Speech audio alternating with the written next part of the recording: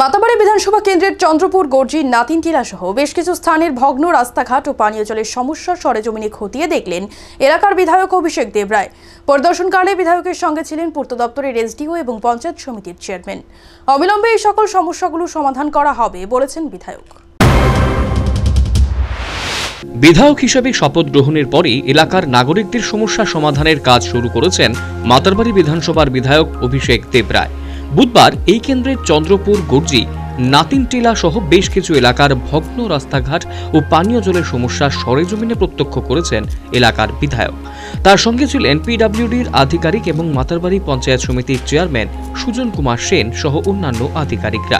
এলাকার সমস্যাগুলোকে প্রত্যক্ষ করে সাংবাদিকদের মুখোমুখি হয়ে বিধায়ক অভিষেক দেবরায় বলেন, এলাকায় বেশ কিছু সমস্যা রয়েছে, তবে সব সমস্যা একেবারেই সমাধান করা সম্ভব হবে না। তবে অগ্রাধিকারের ভিত্তিতে, অর্থাৎ প্রথমে যেসব কাজগুলো আগে দরকার, তাই করা হবে। পাশাপাশি তিনি বলেন, এই কেন্দ্রের মানুষ তার উপরে যে আস্থা ও ভরসা রেখেছে, তাতেই সে খুশি। এখন এলাকার মানুষের জন্য যা যা করার, তা সবই করা হবে। এই কাজে এলাকার মানুষের সহযোগিতা নিয়েই তা করা হবে। কেন্দ্রীয় সরকার অটল জলধারা মিশনের মাধ্যমে ঘরে ঘরে পানীয় জল পৌঁছে দেওয়ার লক্ষ্য নিয়ে কাজ করছে। রাজ্যেও সেই কাজ দ্রুত গতিতে চলছে। মাতারবাড়ি কেন্দ্রের কোথাও পানীয় জলের সমস্যা থাকবে না বলেও দাবি করেন বিধায়ক অভিষেক দেবরায়। কোন কোন জায়গায় মূলত পরিদর্শন করা হয়? আজকে আমরা গর্জিতে গেছি একটা রাস্তার সমস্যা ছিল সেটা সমাধান করার লক্ষ্যে। তারপর আমরা নাতিন টিলা একটা রাস্তা করতে হবে। তারপর ইন্দিরানগর পঞ্চায়েত এখানে দীর্ঘদিনের দাবি একটা রাস্তা করার।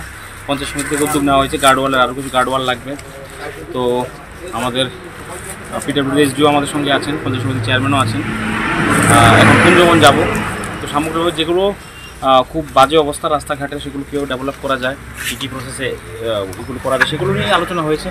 মানুষের সাথে জ- জনসংযোগও তবে চন্দ্রপুর, গর্জি, নাতিনটিলা সহ সংশ্লিষ্ট এলাকার রাস্তাঘাট সংস্কার এবং পানীয় জলের সংকট দূর করতে এলাকার বিধায়ক উদ্যোগী হওয়ায় খুশি স্থানীয়রা। তারা অধীর আগ্রহে অপেক্ষা করছেন কবে তাদের এই সমস্যার সমাধান হবে।